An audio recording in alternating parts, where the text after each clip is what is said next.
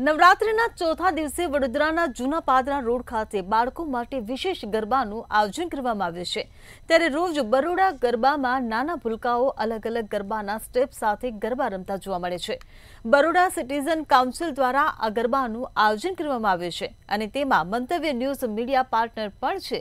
ગરબામાં નાના ભૂલકાઓ અલગ અલગ સ્ટેપમાં ગરબા રમતા જોવા મળ્યા હતા. આ મેદાન પણ બાળકો માટે ખાસ તૈયાર કરવામાં આવ્યું છે.